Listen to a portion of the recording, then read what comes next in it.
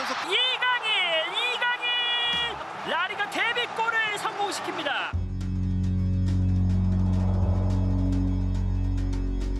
연남고등학교 간다면 축구하면서 인생을 성공했다라고 생각하죠. 삼촌이 앉아서 정선, 정선이한테 갖다 줬는데 삼촌이 작다고 쭉 던져버렸대. 하나님만 믿으면 무조건 학교 좋은 학교 다갈수 있다. 그래서 문자를 이렇게 탁 젖혀버리면 내가 쓰러지잖아. 그대로 올라타가지고.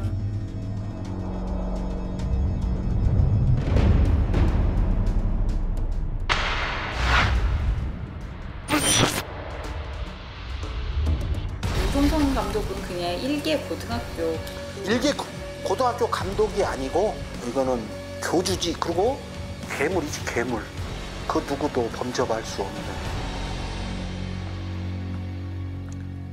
아이들의 미래를 탄탄대로로 이끌 거라고 믿었던 우승컵. 바로 이 우승컵이 덫이 되었다는 부모들이 있습니다. 우승 제조기로 불릴 정도로 수많은 우승컵을 안겨주며 고교 축구계의 명장으로 이름을 날린 인물. 바로 정종선 감독 때문입니다. 정 감독은 태극마크를 달았던 대한민국 축구 국가대표였습니다. 그 뒤에는 한국 고등학교 축구연맹의 회장까지 맡았습니다. 그러던 그가 도대체 어쩌다 학부모들에게 괴물이라는 이야기까지 듣게 된 걸까요?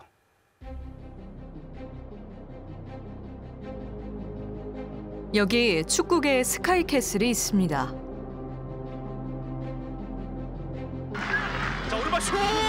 골키퍼 그래요 아 골입니다 최종 우승은 서울 언남고등학교입니다 그렇습니다 언남은 솔직히 말해서 중학생들한테는 dream이잖아요. 언남고 입학만 하면 대학은 보장이 되니까. 프라이드? 언남에 버스 딱 내릴 때, 내릴 때, 딴 학교에서는 바로 고개를 숙이더라고. 그 희열이 있다고 하더라고요. 해마다 전국대회 상위권을 놓친 적이 없다는 언남고등학교. 그 중심에 정종선 감독이 있습니다. 2001년 축구부가 창단할 때부터 특유의 리더십으로 팀을 이끌었는데요. 전국 고교 축구 최상위권의 실력은 높은 명문대 진학률로 이어졌습니다. 실제 들어가 보니까 졸업생들이 연대 두 명, 고대 두 명, 성, 성균관대 한 명, 그 다음에 또 행대 한 명. 와, 그러니까 거의 70%가 인서울이에요. 그만큼 학부모들의 기대도 컸습니다. 하지만 언남고에 입학하는 순간 당황스러운 일들이 펼쳐지는데요. 학부모들에게 강요되는 규칙이 유달리 많았다고 합니다.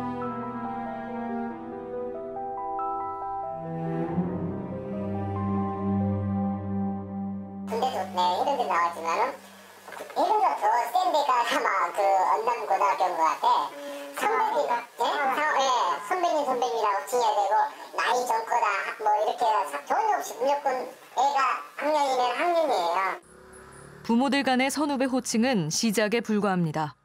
부모들도 수칙이 있어요.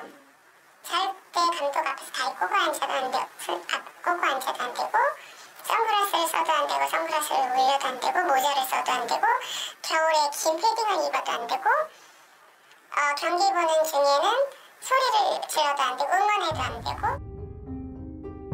취재팀이 입수한 언남고 학부모 수칙입니다. 대부분의 항목이 정종성 감독 앞에서 지켜야 할 주의사항들입니다.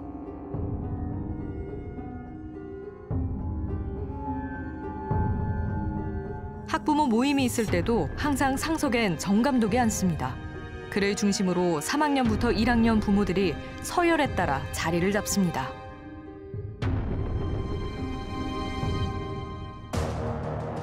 두 달씩 이어지는 지방 전지 훈련이나 대회 때는 학부모끼리 상주하는 당번까지 정해놓고 정 감독의 방 정리부터 삼시세끼 수발까지 해야 할 일이 많았습니다. 애들 이불 다 싸가가지고 자기 이불 수건도 수건도 안 쓰고 고객님들도 다 자기 거 갖고 가야 되고 고등연 냉전 뭐 침대 초계 뭐 이렇게 집안에 왜 가서 갔을 때는 한 달 전부터 식당 집주들을 뭐 5톤차에 다 실고 내려가서 한 달, 뭐 두 달, 한 다섯 명에서 한 열 명 정도 사람들을 몰고 다녀요. 끼, 끼니 때마다. 네네. 그러면 이제 차려, 밥을 차려준다고 학부형들이. 정 감독의 식사 때마다 꼭 챙겨야 할 것도 있습니다. 그냥 잡곡밥을 먹거든요. 끓인 잡곡밥. 대회 가서도 미니밥도 챙겨가서 봄, 봄밥 통에 밥을 항상 싸가지고 다녀요. 식당에 하얀 밥이 나오잖아요. 그러면 이제 토가 쏠린다는 둥 자기는 평생 하얀 밥을 먹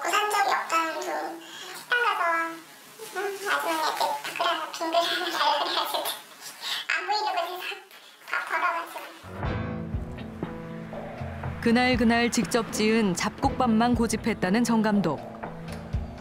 식당에 갈 때도 이 밥만은 전용 밥통에 담아 공수해야 했다는데요.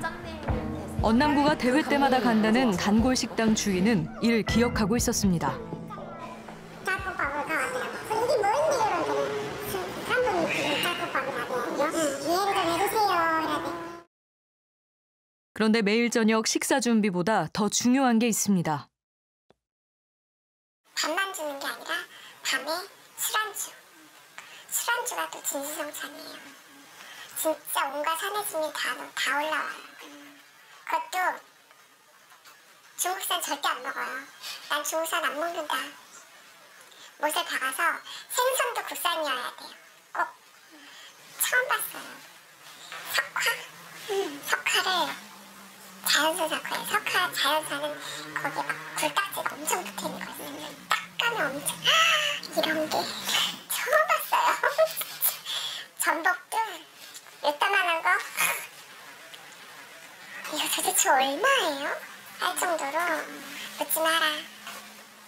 그 아빠 그래요. 아 그래요?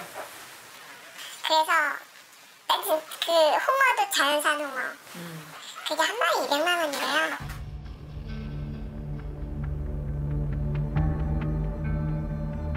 평소 정 감독이 생활하는 숙소로 가는 길.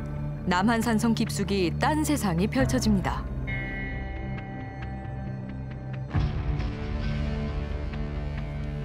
처음 정종성 감독이 숙소로 사용하려고 할 때만 해도 폐허나 다름없었다는데요. 무려 2년간 학부모들이 동원돼 지금의 모습을 갖췄습니다.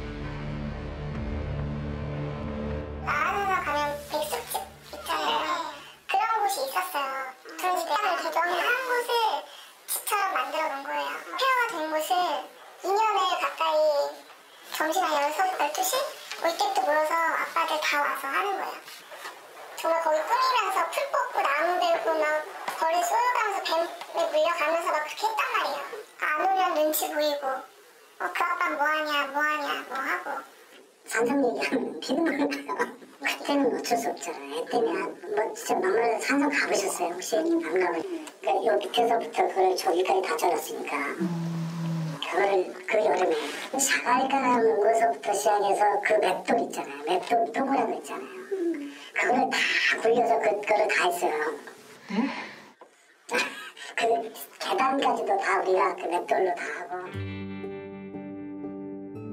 산장 주변을 갈아엎고 철쭉 4천 그루도 심었습니다.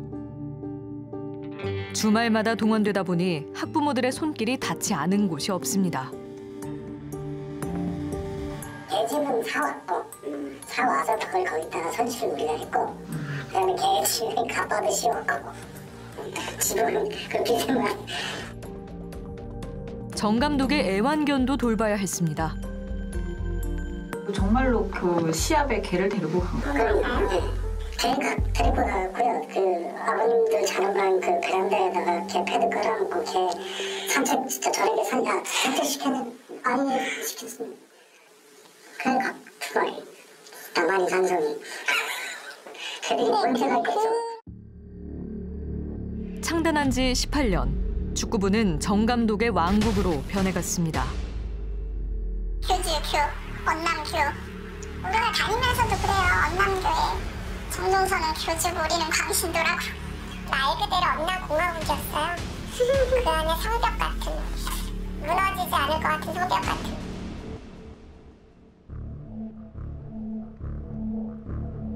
그런데 최근 그 견고한 성벽에 균열이 가는 일이 생겼습니다. 성추행, 성폭행 전혀 사실이 아닌가요? 예. 학부모들이 거짓말한다 보시나요? 아직도 전부 다 부인하시나요? 계속 정면 부인하시나요? 아들 코치로 일할 때 월급 운영비에서 주신 건가요? 정 감독에게 축구부 운영비 횡령과 학부모 성폭행 의혹이 제기된 겁니다.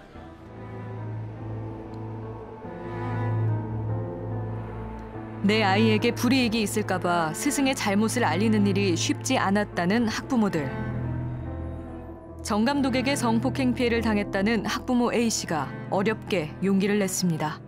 우리 애가 졸업한 지가 벌써 한 3년 넘었잖아요. 제가 졸업한 지가. 그래서 그냥 잊고 살았어요. 그리고 이제 묻혀서 내가 잊고 싶어서 이 세상 누구한테도 입을 열어본 적이 없어요. 이 얘기를. 근데 자꾸 선배들이 뭐 후배들이 계속 후배들을 상습적으로 성폭행하고 있는 것 같다.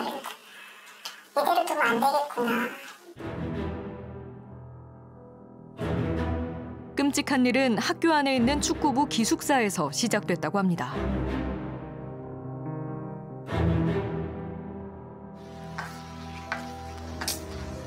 그날 축구부 아이들의 식사 당번이었다는 A 씨.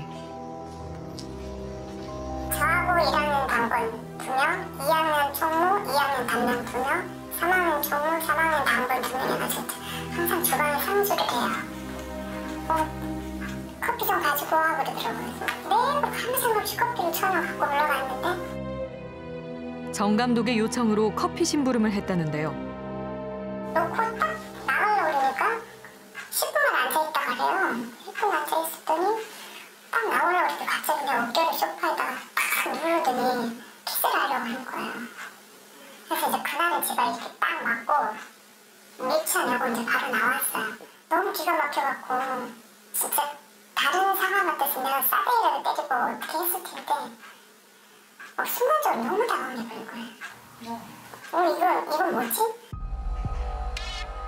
정 감독의 당황스러운 행동은 여기서 그치지 않았다고 합니다. 며칠 뒤 급한 일이 있다며 A 씨를 학교로 불러냈다는데요.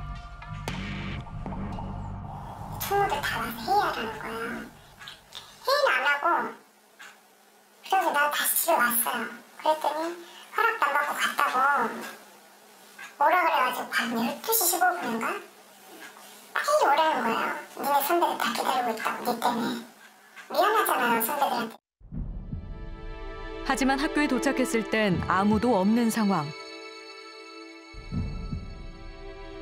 다시 집으로 돌아가려는 A 씨를 정 감독이 놓아주지 않았다고 합니다.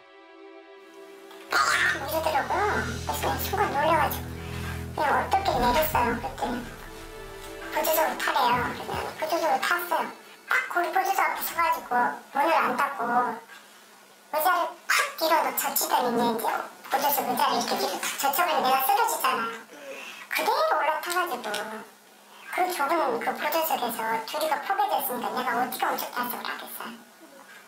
그럼 내가 이제 이러고 있는데 이 목을 가지고 내 목을 졸라가지고 이렇게 눌러가지고 내가 호흡을 못해서 거의 기대는 것 같아요. 왜냐면 내 팬티를 벗기는 걸 몰랐으니까. 그날 처음으로 정종선 감독에게 성폭행 피해를 당했다는 겁니다.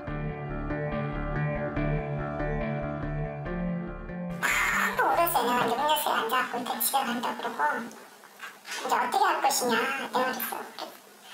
나 전학 가겠다. 우리 가겠다. 선택은 너가 해 이러더라고요. 근데 지금 이대로 가면 이제 우리 아들은 매장시킬 거고 축구회에서는 아무 데서도 전학도 안 받게 할 거고 어느 학교든 내가 못 받게는 안 받는다 그러면서 그럴 것이고 네가 조용히 그냥 넘어가면 얘 대학이고 프로까지 다 책임져 줄 테니까 성폭행 피해를 신고하면 아들의 장래를 망칠 수 있다는 협박에 쉽게 마음을 정하지 못했다는데요. 너무너무 괴로운 거예요. 그래서 나는 어떻게 해야 그리고 무슨 이유로 우리 아들한테 전학가자고 할 건가. 잘하고 있는 애를. 내가 플러스 얘 전학 가야겠다 이럴 수도 없잖아. 엄마가 당해서 가자 수도 없고. 그 순간에는 그 생각이 들더라. 왜? 내가 중요한 게 아니라 지금 내 아들의 장래가 달려있으니까. 결국 A 씨는 침묵을 선택했습니다.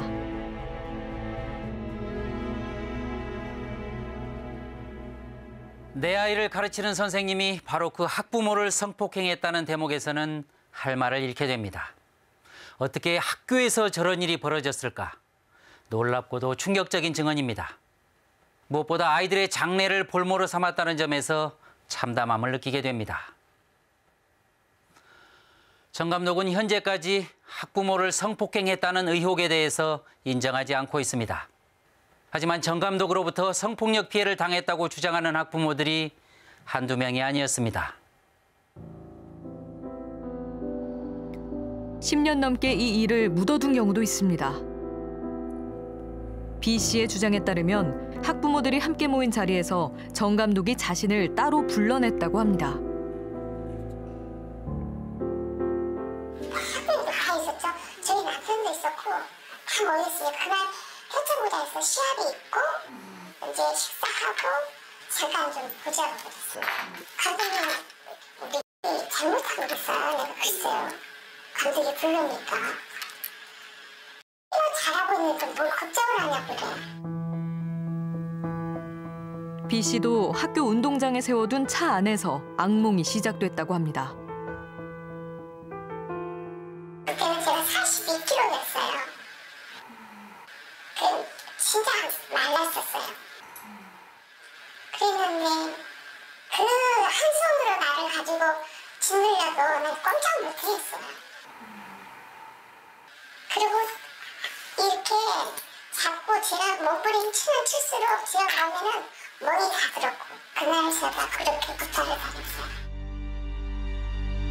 충격으로 집 밖을 나오지 못했다는 B 씨. 정 감독에게서 먼저 연락이 왔다고 합니다.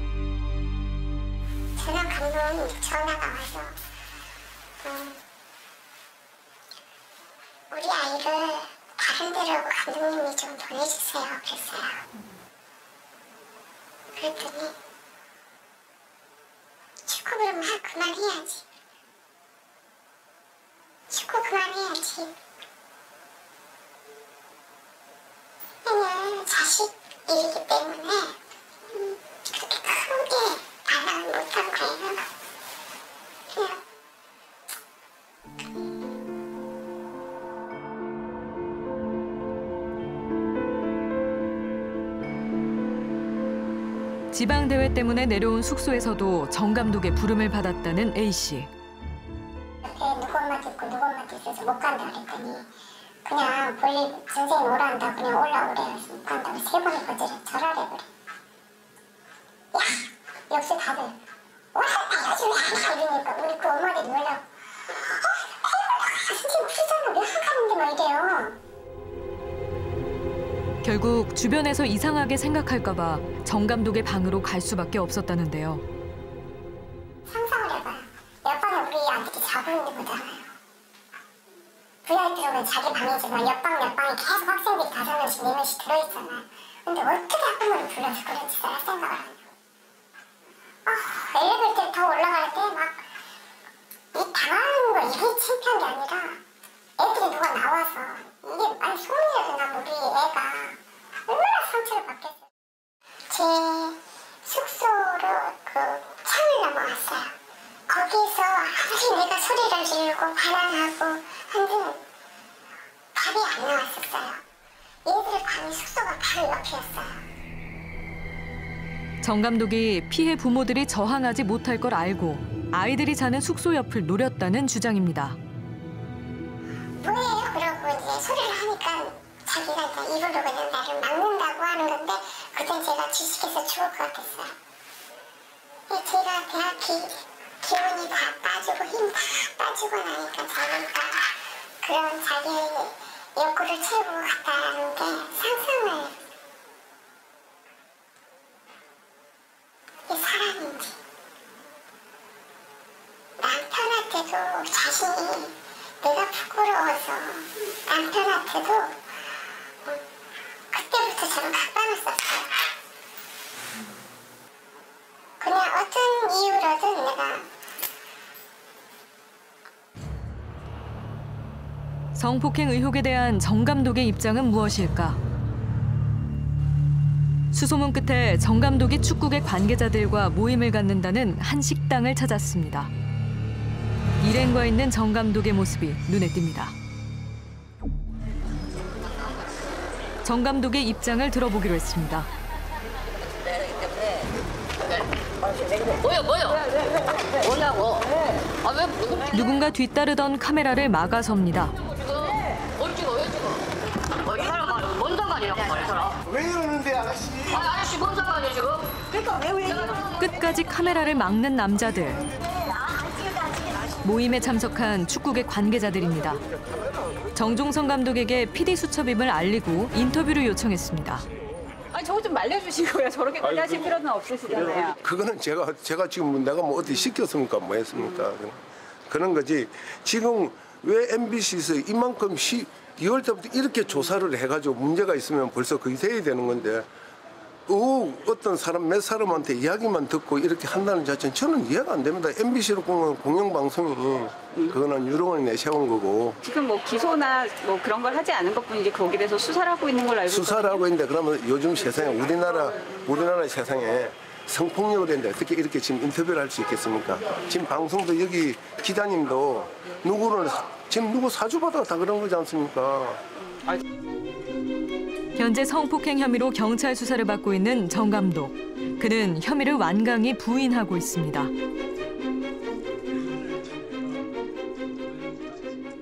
본인들이 경험하지 않고는 진술할 수 없는 구체적인 이야기들을 담고 있습니다. 그리고 정황 묘사가 굉장히 세부적이고요. 피해 사실이 알려질 경우에 가정이나 사회에서 상당한 상처를 입을 각오를 하고 진술했다는 점에서 진실 가능성이 높다고 보입니다. 공통적인 패턴이 발견됩니다. 어, 우선 자녀들의 이야기를 빌미로 어, 밀폐된 공간에서 개인적인 면담을 유도해서 범행을 저지르고 신고할 경우에 어, 자녀들의 앞길을 막겠다는 협박을 한다거나 회유를 함으로써 신고를 하지 못하도록 막는 방식입니다. 동기나 수단이나 방법에 있어서 어, 성폭행의 상습성이 보인다고 생각이 됩니다. 또 다른 피해 학부모도 나타났습니다. 학부모들과의 술자리에서 정 감독에게 성추행을 당했다는데요. 저희가 술을 많이 먹고 옮겼었는데 코가 있으니까 이렇게 쭉 돌아 들어가야 되는 거였는데 또 앉혀 끌어당겼어요 거기서는 끌어당겨서 앉혀서 무릎에 네. 그때는 감독이 그 성기가 발기되어 있는 상황 상태였어요 그래서 제가 이게 뭐지 하고 엄청 불쾌했고 그때는 더 일어나려고 하니까 못 일어나게 딱 한 번 더 안아, 안아서 만지고 술자리에 참석한 학부모 가운데 그날 일을 기억하는 사람도 만났습니다. 다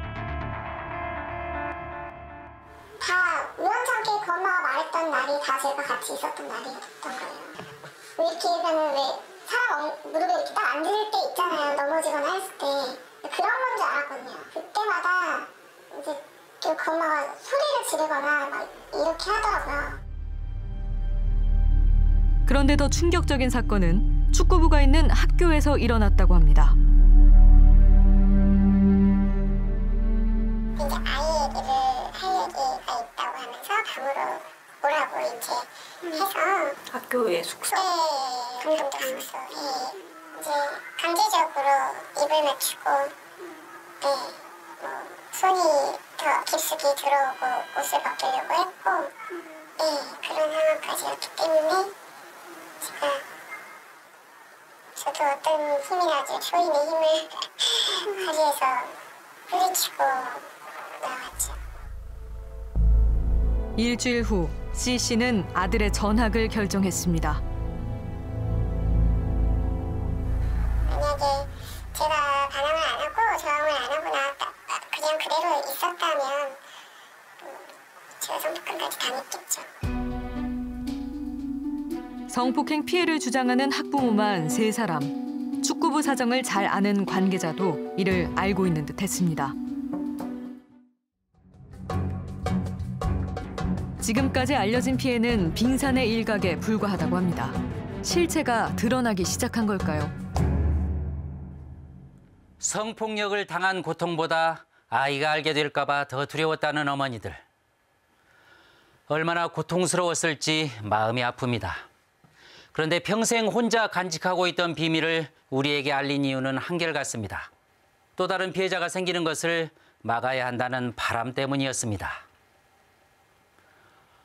현재 정 감독은 구속을 피했지만 수사는 진행 중입니다. 하지만 숨죽여왔던 피해자들이 얼마나 더 많을지 가늠하기도 쉽지 않습니다. 취재 과정에서 만난 학부모들은 피해를 당하고도 쉬쉬할 수밖에 없었다고 합니다. 과연 그 이유는 무엇일까요?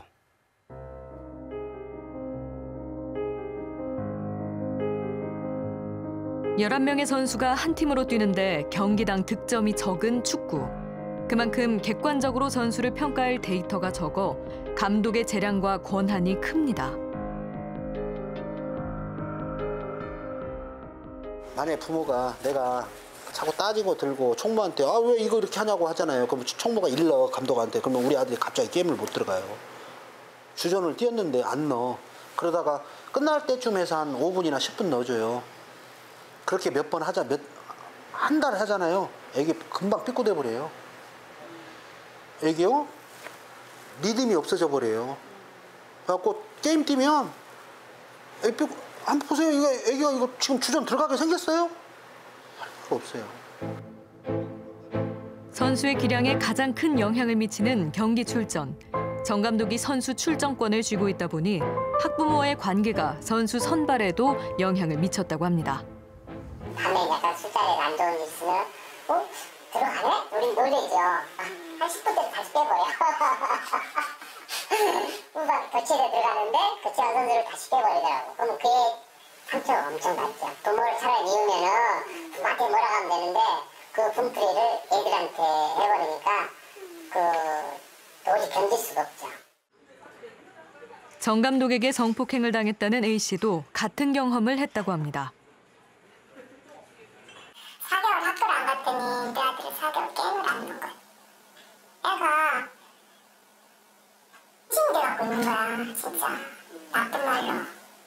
애가 무슨 우울증 뭐, 애도 아니고 뭐, 말, 걸들도 말도 안 하고 애가 징징 울고 말고 해서 엄마한테 말도 못하고 마음이 아프니까 지키려고 엄마가 어떻게 했다는 걸 아니까 엄마 속상할까봐 말을 안 했는데 너무너무 그때 기가 다 죽어버렸더라고 내가 4개월 학교 가니까.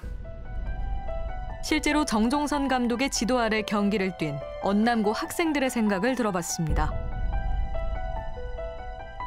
어이없게 하는 거. 비기고 있는데 막 11번에를 뺀다는 거. 잘하는 중. 네.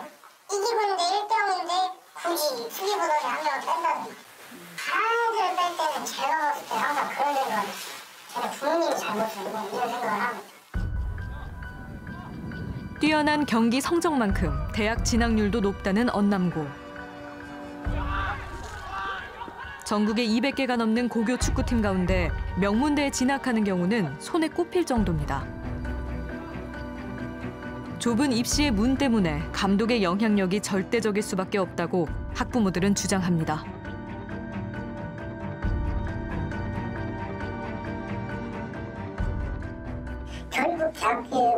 넣고 나면 정해져 있더라고요. 아, 뭐 이렇게 합격. 아, 그렇죠, 그렇죠. 예, 감독들 간에 이 거래가 의해서 정해져 있다. 대학교 원서를 6개를 쓸 수 있는데 저희 학교는 원래는 6개를 다 쓰지가 않았어요. 왜냐면 그냥 어디 어디 가라 그러면 그냥 거기 하나만 넣는 거예요. 거기랑 얘기가 된 거다. 네, 그럼 그냥 다 붙으니까. 걱정 없이 하나만 넣는 거예요. 체육 특기자 제도의 부작용이라는 지적입니다. 대학 보내주는 건 어떤 공정한 시험을 쳐서 실기 테스트를 봐가지고 뭐 체육 특기자를 뽑는 게 아니라 그 선수가 어떤 성적, 어떤 선수인지를 그냥 정말로 프로구단이 스카우트 하듯이 해서 뽑아갔거든요, 지금까지는. 그러니까 고등학교 감독, 대학교 감독들의 영향력이 당연히 굉장히 클 수밖에 없고 상황을 한번 좀 보도록 하죠. 94년 미국 월드컵 본선 진출의 운명을 결정할 대한민국의 마지막 경기가 있던 날. 우리에게 익숙한 이름이 등장합니다. 네, 이것은 아, 상대 선수가 잘했다기보다는 한국 수비수의 결정적인 에러였었죠. 네네. 넘어졌어요. 그 바람에 안쪽으로 뒷대고 왼발로 걷어낸다는 것이 빗맞았대. 네. 정종선이 빗맞았는데. 바로 정종선 감독인데요. 국가대표 현역 시절을 거쳐 고교 축구 지도자로서도 남다른 능력을 발휘했다고 합니다. 사실은 이렇게 고등학교 감독들은 대학 감독들이 술 먹다가 전화하면 튀어나와요. 왜? 내 새끼 나중에 지금 아니어도 내년에 뭘 해야 될지 모르니까 부르면 감사합니다가 튀어나간다니까 가서 술값 계산해주고 다 해요. 자기들끼리. 그런데 어, 정종 선생님은 고등학교 감독임에도 불구하고 대학 감독들이 같이 식사 한 번이라도 하려고 하는 그런 시- 정도의 지위에 있다. 뭐 축구 감독인 건데 뭐 누군가를 죽이고 살리고 할 수 있는 뭐 뭔가 백이 있고 힘이 있고 이 정도는 아니잖아요. 그냥 축구 감독이잖아요. 근데 그렇게까지 두려워해야. 근데 축구계에서는 그 윗선에 뭐 차범근이든 누구든 뭐 박항서든 뭐 아는 지인들이 하도 많다고 하고 불러도 드리고 전화 통화도 수시로 하고 그걸 이용해서 이 사람 또 과시를 하는 거고서 내 위치가 이렇고 내가 닿는 손들이 여기까지야 내가 말 한마디면 내 아들 어디까지도 보내줄 수 있어 이런 식이 되는 거잖아요 공개 때 미팅 아니에요. 그리고 갑자기 박항서 감독님이 그때 좀 떴었잖아요. 전화해가지고 화이팅 한번 불러주십시오 이러면서 막 전화하고 막 스피커폰 해가지고 일단 화이팅 한번 넣어주십시오 이러면서 막 막강한 축구계 인맥을 자랑했다는 정 감독. 2년 전부터는 고교 축구연맹 회장직도 맡았습니다. 더불어 대회장을 찾으실 학부모 여러분께도 감사의 말씀을 미리 드립니다. 정 감독의 영향력이 커지면서 그 힘이 엉뚱한 곳에 쓰였다고 말하는 학부모도 있었습니다. 여기 전화가 왔어요. 수, 수영, 수영, 수영 있나? 수영 선수 것 같아요. 대학은 가야 되잖아요. 수영에서 승부 안 날 것 같아가지고. 강남구로 어, 왔어요. 축구를 한다고? 음. 키는 크니까. 근데 정감도 친구예요. 친구 좋아하는 X로 갔어. 어, 갔어. 항상 절대 전반전 안 넣고 우리가 몇골 넣어놓고 이 게임을 시간 채우려고 들어가서 거의 보면 코미디 한번 할게요 가면은 우리 이제 배꼽 잡고 뒤에서 묶어 실력이 모자라도 명문대에 가는 경우가 생겼다는 건데요. 졸업하고 나서도 한 번씩 오면 대놓고 앞에다 앉혀놓고 그 감독님하고 통화를 하면서 그런 식으로. 이번에 안 뜯겼다며 아, 한번 뜯겨줘야지 이러면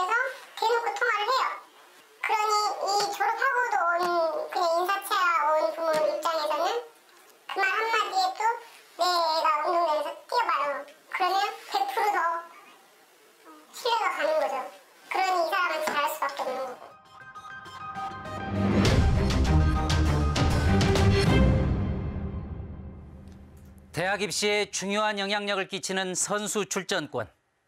바로 그 칼자루를 쥔 게 고교 축구 감독들입니다. 학부모들이 정 감독에게 속수무책으로 당할 수밖에 없었던 이유입니다.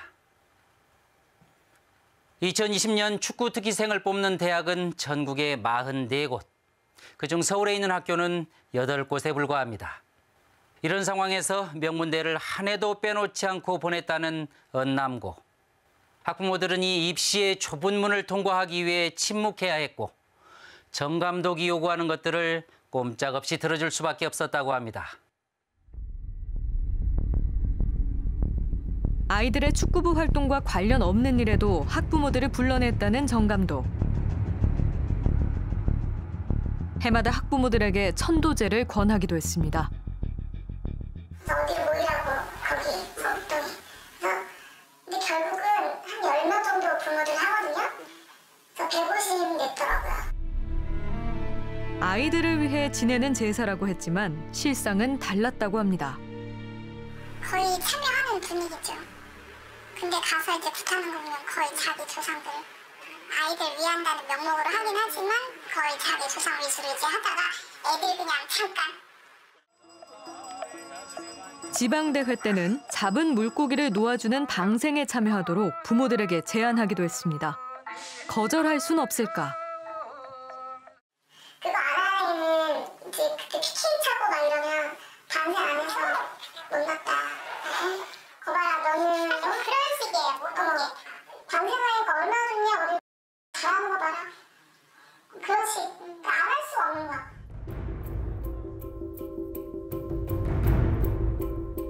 축구부 활동에 필요한 비용 외에도 시시때때로 돈 들어갈 일이 생기다 보니 부담이 만만치 않았다는데요. 1학년 초였지만 제가 4개월 동안 1,300만 원 정도를 4개월 만에 1,300만 원이 들어갔어요 거의 돈이. 그럼 지금 이제 3년 동안 졸업한 사람들은 거의 뭐 어, 돈이 훨씬 1억이 넘게끔 돈이 들어간 돈이 그렇게 이상이 들어갔거든요. 더도 들어간 사람도 많지만 저 같은 경우는 그런 것 같아요. 연 따지면 연 3년이니까 연마다 한 1억 들었다고 따지면 3억 들었는 것도 그것도 그냥 내가 모르는 돈은요. 쉽게 얘기해서 우리가 쫓아다니면서 우리가 쓰는 비용이잖아요. 그렇게 다 포함시키면 엄청나요. 고등학교 축구부 중에서도 비용 부담이 크기로 유명하다는 언남고. 초반지, 금반지가 그리고 김장비, 특식비, 그리고 동계회비, 그다음에 일반 회비, 음, 트레이닝비 입학하기 전에 학년 담당 총무의 입출금 거래 내역서입니다. 입학도 하지 않은 신입생에게도 1인당 50만 원씩 김장비를 받았습니다. 물가 인상률을 반영해 책정했다는 김장비. 부모들의 생각은 어떨까? 김... 자, 50장비씩 50만 원 내고 3박 4일 가서 일하고 아 3박 4일 어머니가 그냥 가서 일을 하고 부모들 다 이 금장, 김장비 1, 일인당 50만 원씩 내면 많죠. 네. 근데 그 김치도 김 배추도 참 정동선 형이 어디 시장이더라 어디 시장에서 그런 걸 해요. 그래서 거기서 가지고. 부모들이 직접 김장을 하기 때문에 큰 돈 들어갈 곳이 없다는데요. 배추는 누가 스폰해주고 마늘은 누가 스폰해주고 뭐 이렇게 하는데도 그렇게 50만 원씩을 걷어요. 그럼 그것도 또 몇천만 원이잖아요. 무엇보다 부모들의 정성을 강조한다는 정 감독. 일요일 날 김장을 하면 금요일 날 보통 가서 마늘을 까고 마늘 까고 생강 까고 마늘도 깐 마늘 쓰는 거 싫어해요. 그것도 산지에서 가지고 와야 돼요. 그것도 우리 1학년 때는 촬영을 하고 다녔어요. 사진에 이제 찍혀야 된다고. 안 찍히면 안 나온 거잖아요. 그래서 안 온 사람들은 뭐 이름을 적어서 낸다는 그런 소문도 있었고. 정 감독의 숙소를 드나들던 부모들만 아는 공공연한 비밀도 있습니다.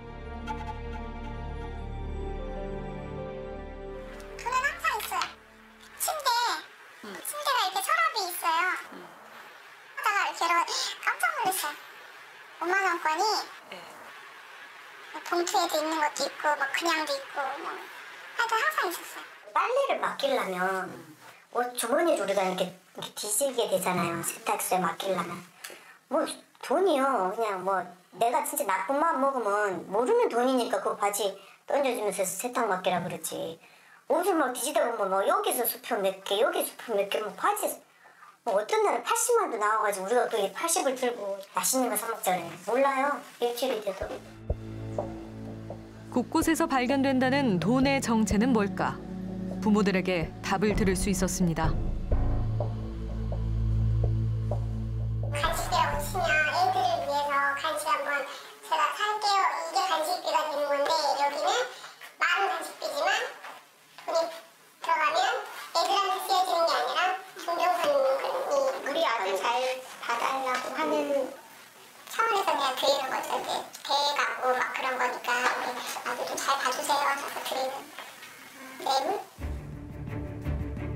정 감독의 월급은 800만 원.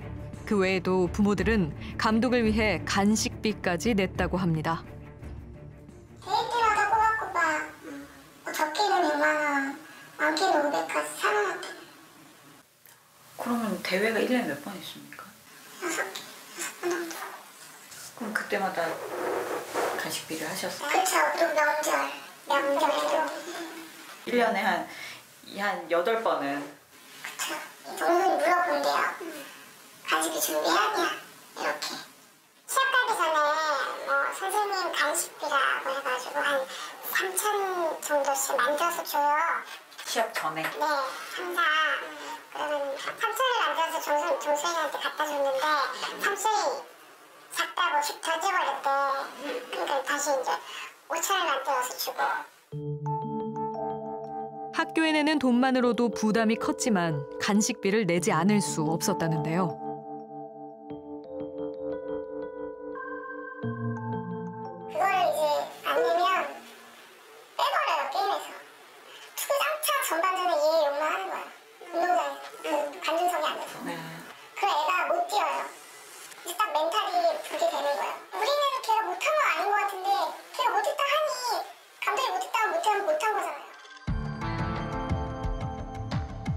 아이들의 대학 입시를 앞두고는 더 큰 목돈을 준비해야 한다고 합니다.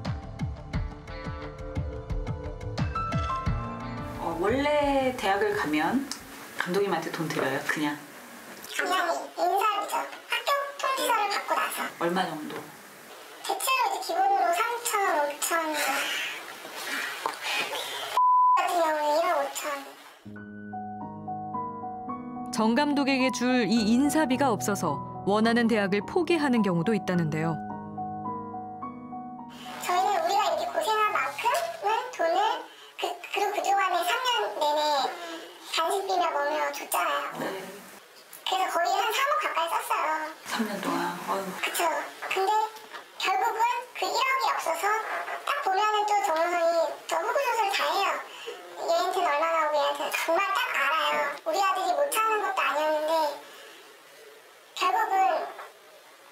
그렇게밖에 못 가더라고요 애들 중에 대학교 갈 수 있는 애들은 몇도 안 되잖아요.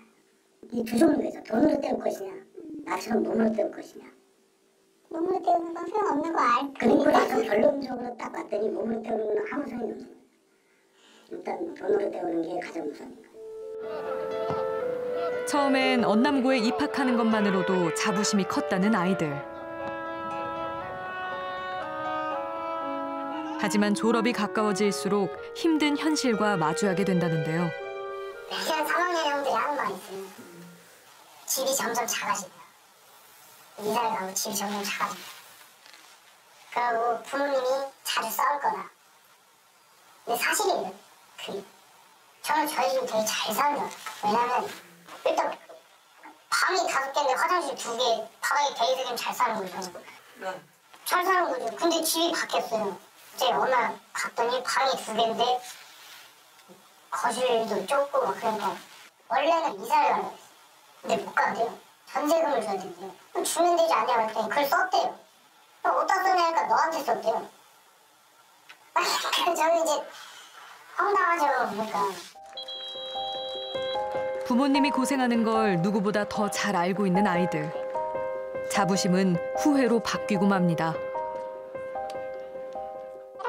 어떤 금전적인 거나 부모가 와서 몸으로 때우는 거, 그 아이들도 보잖아요. 3년을 숙소 생활을 하니까. 네. 부모가 와서 어떤 일을 하는지 눈으로 다 볼 거고, 어머니 죄송하다고 제가 이 학교로 오게 돼서 미안하다고 그 손을 잡고 그죠? 식당 앞에서 정중하게 인사했다. 어머니 죄송하다고. 정말 미안하게 생각한다고.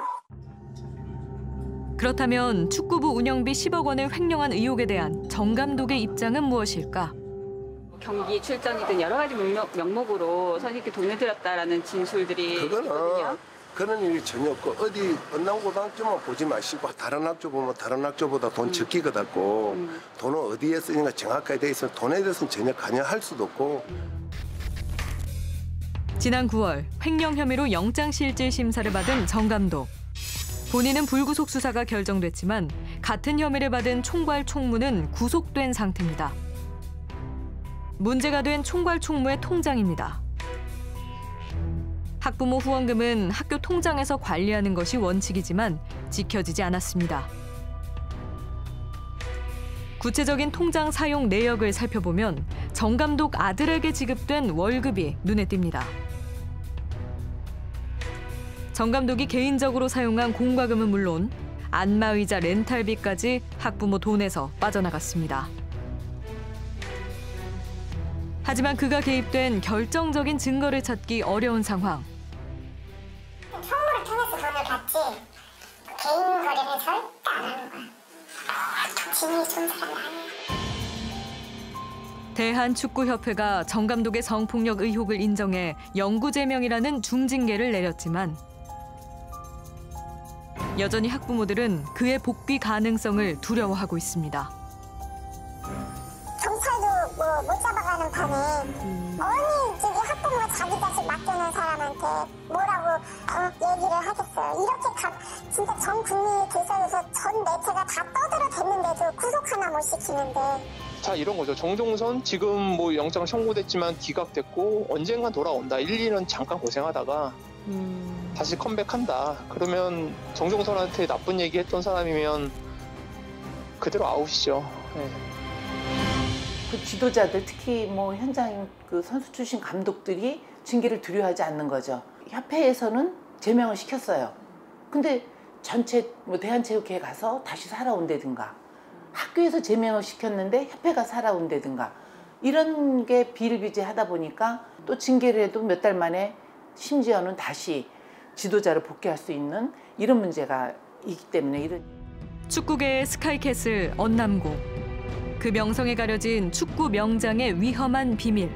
이제는 밝혀낼 수 있을까요?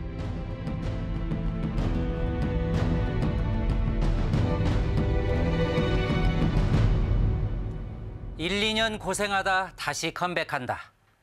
피해자들이 정 감독을 두려워하는 이유가 바로 여기 있습니다. 이미 비슷한 혐의로 교육청 감사나 검경의 수사를 받았지만 정 감독은 그때마다 복귀했기 때문입니다.